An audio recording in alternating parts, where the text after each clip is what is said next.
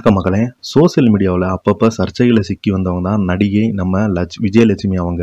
அவங்க பார்த்தீங்கன்னா இப்போ அவங்களுக்கு ஏற்பட்ட ஒரு சோகமான செய்தி தான் நம்ம இந்த வீடியோவில் பார்க்க போகிறோம் அதுக்கு முன்னாடி நம்ம சேனலை சப்ஸ்கிரைப் பண்ணாதவங்கலாம் சப்ஸ்கிரைப் பண்ணிக்கோங்க. அப்படியே பெல் பட்டன் சிம்பிள் அமைக்கி நம்ம சேனலோட நோட்டிஃபிகேஷனை எனபிள் பண்ணிக்கோங்க. அப்போ தான் நாங்கள் போடுற வீடியோ பார்த்தீங்கன்னா உங்களுக்கு உடனுக்குடனே வந்து சேரும்.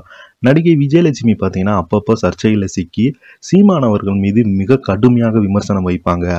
இது பார்த்தீங்கன்னா சோஷியல் மீடியாவில் ரொம்பவே கண்டென்ட்டாக மாறி அவங்க மேலே நிறைய புகார்கள் எழுந்து இவங்க ஒரு ஒரு அரசியல் கட்சி தலைவரை எப்படி விமர்சிப்பது என்று இவர்கள் மீது பார்த்தீங்கன்னா வழக்கு பதிவும் ஏற்பட்டிருக்கு. இப்போ பார்த்தீங்கன்னா ஒரு வீடியோ ஒன்றை வெளியிட்டிருக்காங்க. சீமான் மாமா அழுதுட்டே இருக்கேன். ரொம்ப அசிங்கமாக இருக்கு. கதறிய நடிகை விஜயலட்சுமி. நடிகை விஜயலட்சுமி சீமான் குறித்து உருக்கமாக பேசிய வீடியோ பார்த்தீங்கன்னா ரொம்பவே வைரல் ஆயிட்டு வருது. இந்த வீடியோ பார்த்து ரொம்பவே எல்லோருமே ஷாக் ஆகி போயிருக்காங்க. நடிகை விஜயலட்சுமி பார்த்தீங்கன்னா அண்மை காலமாகவே பார்த்தீங்கன்னா சீமான் அவர்கள் மீது நெருக்கமாக இருந்த வீடியோ வெளியிட்டு ரொம்பவே அதிர்ச்சியை கொடுத்துருக்காங்க.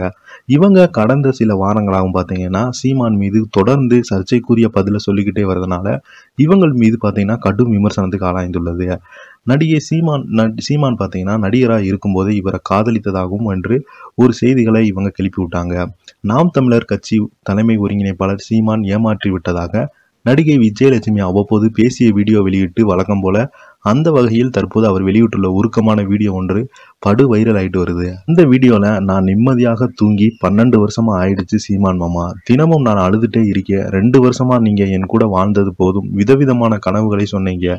நம்பிக்கையும் கொடுத்தீங்க. ஆனா திடீர்னு என்னை பைத்தியமாகிட்டு நடுத்தருவில் விட்டுட்டு போயிட்டீங்களே எனக்கு எப்போ நியாயம் கிடைக்கும் போகுதுன்னு எல்லோருக்கும் கேட்குறாங்க நான் உங்களை மாமான்னு கூப்பிட்டா தான் உங்களுக்கு தெரியும். நீங்கள் யாரை அள வச்சுட்டு இருக்கணும்னு எத்தனை நாள் தான் நம்ம விஷயத்த பொது வெளியில் அசிங்கப்பட விட போகிறீங்க நான் அவமானப்படுற எத்தனை நாள் தான் நீங்கள் பார்க்க போகிறீங்க சீமான் மாமா?